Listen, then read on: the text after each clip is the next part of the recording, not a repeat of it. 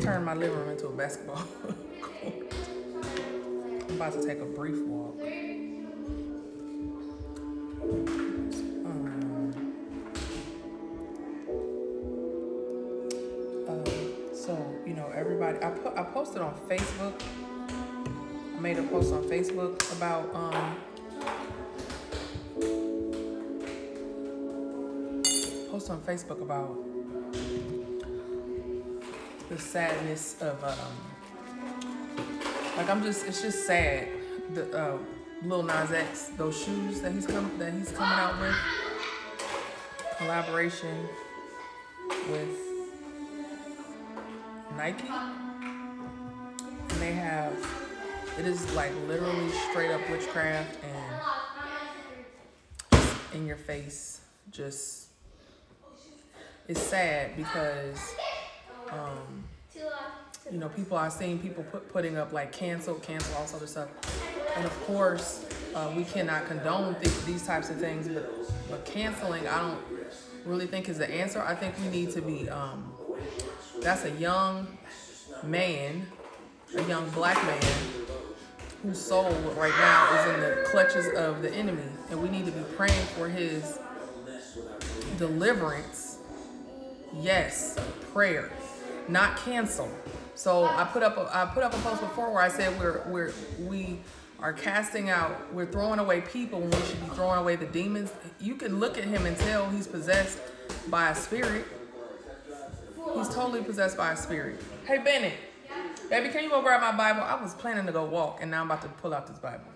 Because we got because he's possessed by a spirit. So and there's a lot of people that have this issue where spirit has taken over and we throw the person away. Like when I looked at that, I was upset, but I wasn't mad at him. I see him as a victim. He's a he's a, he's young and he's lost. And when people, he's a grown up technically, yes, but um, grown ups that are damaged like that were children first. Baby, can you go get my other? Is my other? Oh, it might be in the car. I wanted to use my other Bible.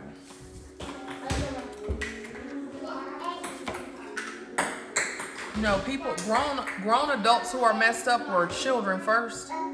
Um, and there's there's there's reasons why people are more susceptible to being caught up like that. And we need to be recognizing that we are at we are in a spiritual war, whether you want to believe it or participate in it or not, you're still in it. So basically, when people keep making excuses and turning a blind eye to the things that have been happening in our face and it's becoming more and more blatant the things that the devil is doing and people like oh everything ain't the devil. No everything is not the devil but right now a lot of stuff is and we're literally in the middle of a spiritual war and people are standing on the battlefield just standing there. They're like i ain't in no war. I ain't in no war it don't change the fact that you are in one and whether you participate or not is up to you. So while you're standing there declaring you're not in a war, somebody's gonna pull out the the enemy is pulling out his his gun and they, and shooting it at your kids. That's what just cause that's somebody's child. And the enemy came out and shot their gun at somebody's child. And we looking at some tennis shoes with human blood in them with with scripture on the side. Now check this out. Yesterday, yesterday when I saw it, I was sitting at the table with Bennett and Bradley. We were having breakfast. And I and I when I saw it, I I, I, I turned the phone to, to Bradley first. He's my seven-year-old. And I said, look what Lil Nas X made.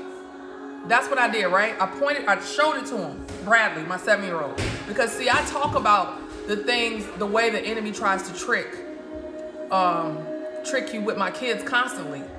So they, I'm trying to let them, I'm trying to uh, impart the wisdom of God, the the the light, the the light of the truth, which is the light, onto my children, so that they, when they're out in the world without me, they can discern when something is bad. Okay, so I turned the phone to Bradley, and he looked at it, and literally it was like this. I said, I said, look, look, look what Lil Nas X made. Cause see, they they really like Lil Nas X. They was like all the other kids. that the devil was targeting by drawing him to that, that young man right before he turned him out and, and tried to destroy him. So I wanted to see what his reaction would be since I knew Lil Nas X was somebody he knew and somebody that he liked, right? Bradley said, that's trash, and pushed the phone away. So that was my seven-year-old. My 10-year-old, I let him, he's like, let me see, let me see. So I showed it to him, right? My 10-year-old, he did what a lot of adults do. He looked at it and he and he saw that it wasn't he looked at it, he was like, um, it has scripture on it. That's what he said. I said, really? Um, he said, yeah, look, Luke 10, 18. He's got scriptures on it. Gonna, so, I, don't, don't mess it up now, Benny. Hold up, I'm trying to teach you, uh, buddy. Hold up, I'm gonna read to y'all the scripture, right? And this is what we do, and this is how we get jacked up. And this is how Lil Nas X got jacked up. But I'm, but I believe that he's gonna get delivered. That's what I'm believing for, and I most certainly will be praying for him and my sons. We, we, we praying for him, okay? I'm not canceling him out. I'm not trying to throw away that young soul. I'm trying to, I'm trying to, I'm trying to, I'm trying to send my prayers up to heaven, and I hope you guys join. Send prayers up to heaven to for the Lord to give him a supernatural encounter that he can't deny and give him deliverance, and then he can turn into a, a mighty man of God and win souls for the kingdom. That's what we need to be praying for, not canceling him out. But Luke 10 18, let's go see what Luke 10 18 says. I'm reading from the Christian Standard Bible, that, that Tony Evans Study Bible. It says, He said to them, I watched Satan fall from heaven like lightning. That's Luke 10 18. So I read that to my son. I said, This is what Luke 10 18 says. He was like, He jumped up and ran off. He was mad, right? He, he was like, and he jumped up and, and ran off. And I'm like, Where are you going? Come back, come back. He was like, Oh, they tricked me. But listen to 19. This is what happens when you take one verse and stop. When you when somebody put up a scripture on Instagram or Facebook of one verse and you don't read nothing before or after it, then you can end up actually thinking like, you know, Satan is good or something. I don't know. But listen to verse 19. Lil Nas X need to read the next verse, honey. Listen. Look, I have given you authority to trample on snakes and scorpions and over all the power of the enemy. Nothing at all will harm you. That's 19. Basically, he cast Satan down, and then he has given us authority to trample, to step on scorpions and snakes, and nothing will harm us. He gives us authority, and let me read it. Look, I have given you authority to trample on snakes and scorpions and over all the power of the enemy. Nothing at all will harm you.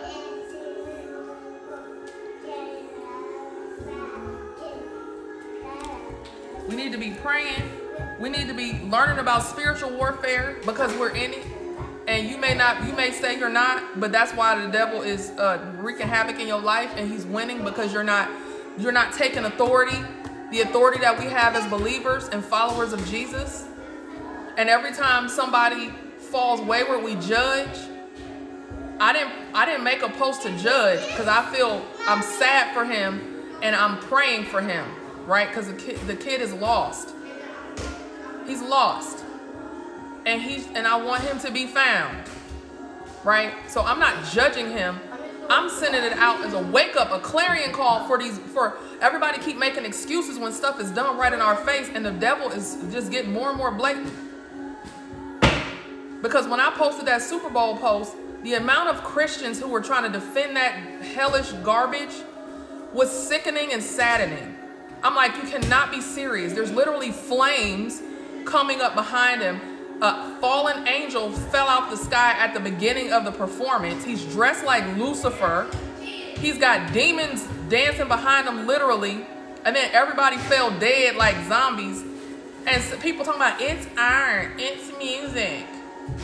Like, are you freaking kidding me? But you're a Christian and you're okay with letting your kids be fed this stuff? My kids, like literally, we talk about this stuff all the time. I'm t- I, I don't know if I told y'all the story about, because my kids know Disney is bad. they know. Like we don't keep the Disney Channel just sitting up on our TV and all that other stuff. And um, we uh we had went to McDonald's and got and Mila Rose got a Happy Meal. She wanted French fries, but you gotta get her the whole Happy Meal because she really just wanted the toy. And the toy was a Pokemon toy. And when Brad when Mila Rose pulled the toy out of the uh, Happy Meal, Bradley was like, "No, it's demonic." he gets out of his, he done took his seatbelt off and he over there trying to snatch the toy from Mila Rose. Mila Rose screaming and kicking like, ah, because she don't know. And Bradley's like, no, Mila Rose, it's demonic. I'm like, okay, relax, Bradley, just relax. When we get to where we're going, I'm, I'll tell Gigi when Mila Rose put it down and take it from her, and so she can't play with it. But they're like, he's like, Bradley takes a hard line. Bennett sometimes, you know, he might try to rationalize, and that's what adults do. And I'm teaching them. Like, no, we don't rationalize. And if you see a scripture, you go look at it yourself and you go see what's around it and ask God to give you discernment about that thing. And here's the other thing. I asked him after we talked about it, I said, baby, when you first looked at it, you turn your head to the side and you look kind of confused. What was your first thought when you saw it before you started looking for something good because you wanted to see something good? I thought it looked bad, but then I saw the scripture and then I got then I thought maybe it was okay. Well, because one, he likes Lil Nas X. So he didn't want to see bad in Lil Nas X because he likes him. So when he saw, he like this looks like he when he saw it, it, his initial reaction was like a stirring in his spirit, like this ain't good. Except the person, the person he liked, so he was he wanted to see, so he kept searching until he found something to try to latch onto to make it be okay. So we were able to talk through that, and now he's like, "What you say, Bennett?" That's kind of sus. It's sus, he said. No, no, no, you gotta say like, you gotta say. Okay, hold on, tell me you how. gotta be like, that's kind Come of. on, come on, come You, gotta, on. you gotta say like, that's kind of sus. You gotta say like But that. when you first saw it, Bennett, yeah. tell him what you thought when you first saw it. When I first saw it, I thought I didn't think that was Lil Nas X emoji. You didn't? But even though Lil Nas X was sitting there on the picture. Yeah, I thought he was just like holding the shoe, but like, that Okay, was. so even if that's true, like, why would I would not stand there holding something that is um, promoting Satan? yeah. You know what I mean? Yeah. Like, so then even if that was the case and he didn't make it, and but he's standing there holding it, that's it shows what you represent. You have to be careful the things that you align with Yeah. when you have people following you, right? Yeah. And so then when you saw the scripture, then what happened? I kind of thought maybe I just kind of thought that maybe those like I thought that he maybe had like maybe those like a design of a shoe or something, and then he just put the scripture there. I thought it was gonna be good. And Yeah. then when he showed me the scripture, like pretty bad. Yeah, you got upset. Yeah. Cause I, I just ran out the room. I know. You just jumped up and ran off. I read so. I read the scripture and then I just bolted. Yeah. So now we're gonna pray for him, All right. for his soul to be saved, right. But we're not gonna follow somebody just because we like them if they're going leading us down the wrong path, right? Mm-hmm. All right, you can go. Also, before I go, can I say? Oh yeah. Um, Put that. No, boy, gone. they, they can't have a sweet So- These are good. Literally, don't hide this stuff from your children because they're gonna see it anyway. They're gonna be at school on Monday, and their friends gonna be like, "Looky, looky, looky." And and so a lot of times, parents we try to block them from everything. Like I don't show them everything, of course not. But I knew that particular. I'm like, this is somebody that they liked and look up to. And if this crosses their eyes, I want to see. Also, it allowed me to see where, how far, like the areas of weakness um, for my children, and um, allow me to tackle it with them head on as a parent and guide them through it instead of them seeing it with their friends and him saying, "Oh, it's a scripture," and thinking it's okay. You see what I'm saying? So sometimes we gotta face it with our children so that we can rear them you know, we don't just let them. So I showed it to them. I literally, I literally, as soon as I saw it, I showed it to them and talked with them through it because I wanted to see how they process that. Because I want my kids to be able to be. I'm not going to be able to be there all the time and ward off the bad things. And when bad things come in their face, I need them to know get away from it, how to recognize it, because we have a lot of us adults have been completely uh, tricked the same way Lil Nas X. They, they literally he he made a, a post back in January where he said that his target audience was children. So they made us love him. They made his song be number one on the charts for a year. And all the kids dancing to it. Everybody know that song. And then they went and flipped it completely with all our kids watching to devil worship and witchcraft. And some people, some celebrities have done that with us as adults.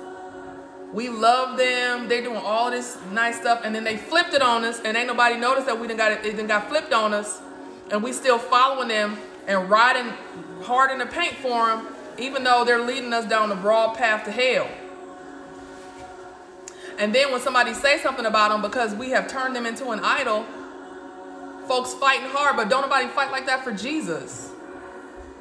How you gonna fight for Oprah but don't fight for Jesus? How you gonna fight for Will Smith but don't fight for Jesus? Steve Harvey completely sold out, but don't fight for Jesus. Yes, but first, in order to teach our kids how to make decisions, we first got to know. You know, as I started to dive deeper into the Lord and He started to strengthen me and give me wisdom about certain things and strengthen my spirit, my gift of discernment of spirits and and all that kind of stuff, strengthen my faith.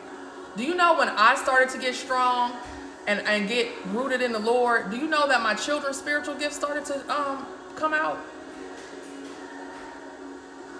So we got to be right in order to teach our children. And the problem is folks ain't right. They don't even know. They teaching their children the same mess that they believing in, which is not right. We're trying to mix and match doctrines. We're mixing doctrine, doctrines of demons with, with the word of the Lord. We mixing it because it's convenient for us and it fits our truth. And then we're teaching that foolishness to our children. So I'm calling for all the saints to pray. We have to fervently pray, pray for Lil Nas X. The devil think they got that boy, but but I don't. The, it, he's still here, so it's still work to be done. He's still here. The devil has not won yet, and so I personally will be praying for that young brother. I will be praying for him every day, the same way I pray for my children, because he will be a mighty warrior for the kingdom if everybody gets to watch him be delivered. And when when Jesus did deliverances, he did it with an audience. So this might be why the Lord allowed the devil to think he got Lil Nas X just so that he could get him back right in everybody's face. I'm gonna read y'all this and then I'm gonna go. Uh,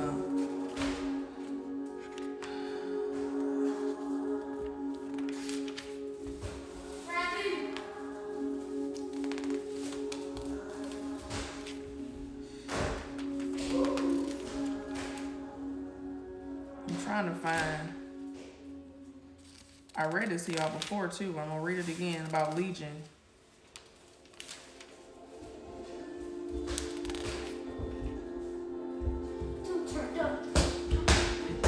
Okay.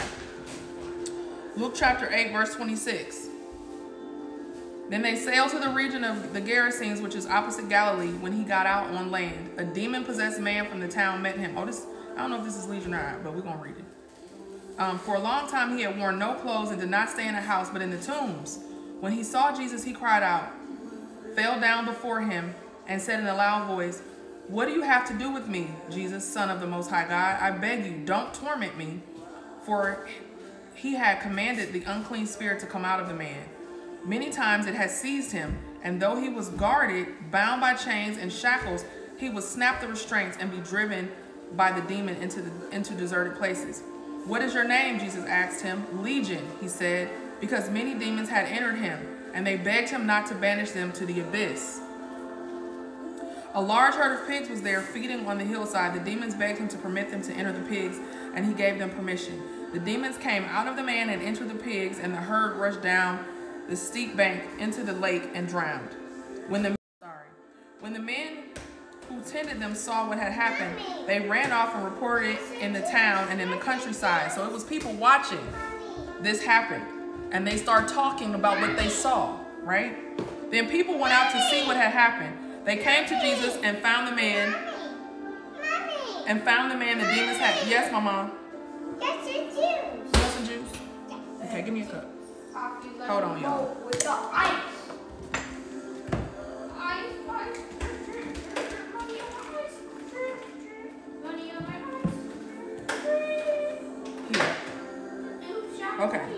They found, oh, where am I?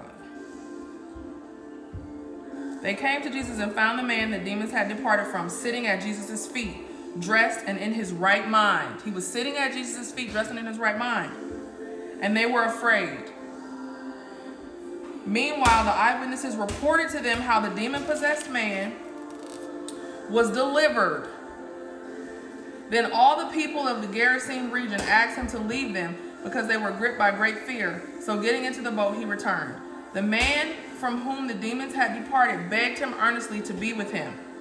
He begged to stay with Jesus. But he sent him away and said, Go back to your home and tell all that God has done for you. And off he went, proclaiming throughout the town how much Jesus had done for him. So he went from being a crazy man in the tombs, breaking through chains, hurting himself, hurting himself. Everyone was afraid of him. He was completely possessed. Jesus delivered him and he went on to ministry. He went out preaching and proclaiming the good news of what God had done. He, Jesus did this with an audience. The people were spreading the news and the man was spreading the news. So I'm believing, I am believing that the reason why God allowed this to happen was so that he could have a grand show of his of his delivering power of his grace and mercy and love for us. To we need a mass move of the Lord for people to come back to him. See, people came back to him. They came to Jesus. So I'm believing that Lil Nas X is going to be a modern day legion. And I'm going to be praying into that every single day. I'm not to be talking about this, this child. He's a kid. And the devil think he got him. But Jesus reigns supreme.